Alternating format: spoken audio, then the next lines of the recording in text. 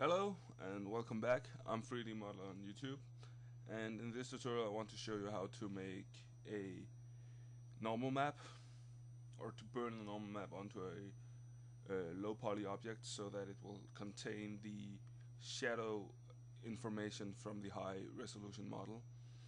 This technique can be used for any objects that you have that you may want to import into a game and I also want to address some issues that, that can arise, arise with with this method of uh, burning the shadows. And um, it might be a good idea to have Photoshop installed to make some work afterwards. But um, let's get started. So as you can see here we have uh, two different models. A high poly model over here and a low poly model over here.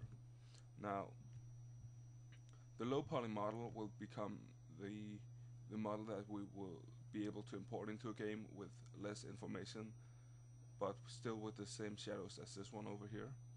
And um, so what we'll do is that we will first unwrap this model here and then we will burn this information onto that unwrap.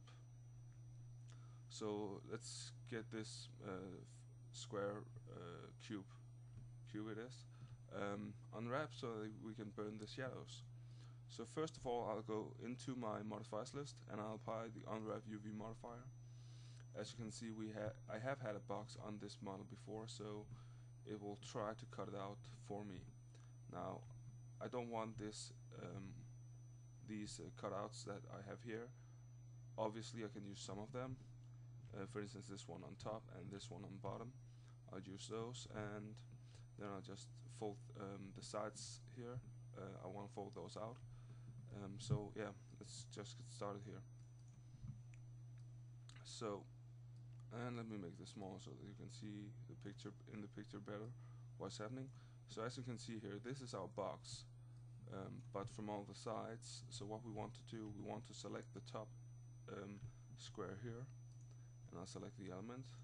I select it from here, and um, when I press the, the element on the scene, you can see it will be selected in the um, in the U editor edit UV maps um, window here.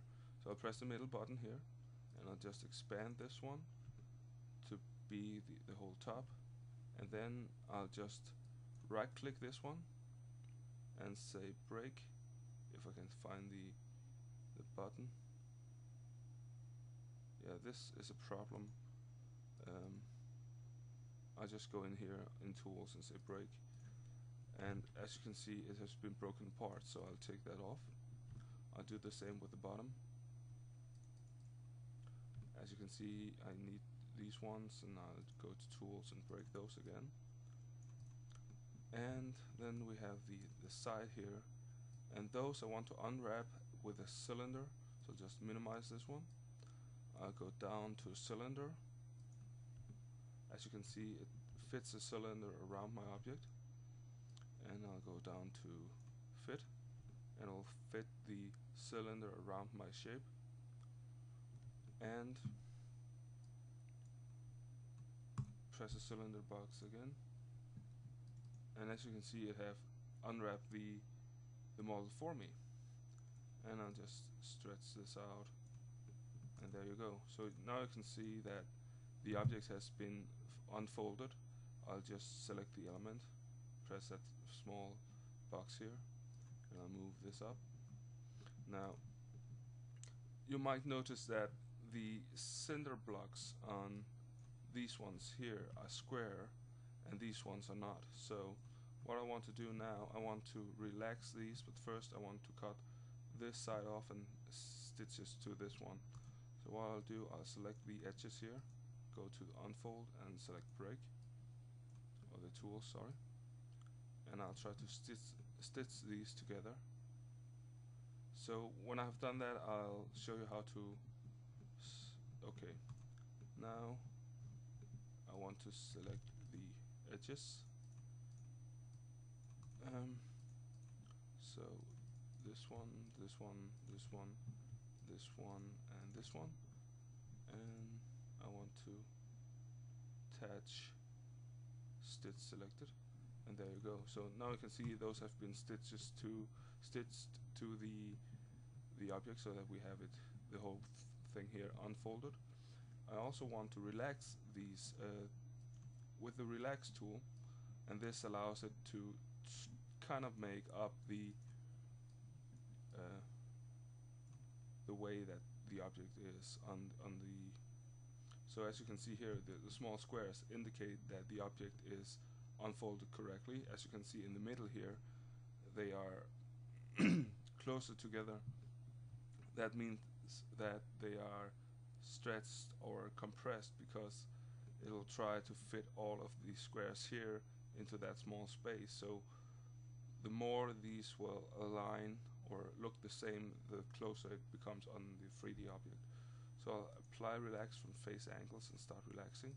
And there you go you can see the relax has been applied perfectly. And I'll do the same with the top and the bottom.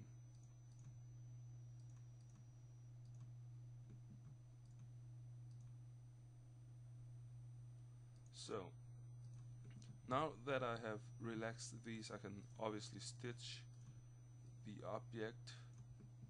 Um, I see here I'll select the face underneath and this one should be stitched to it. So let's try and stitch selected. Uh, there you go. And I'll do the same with the bottom one. I'll stitch selected.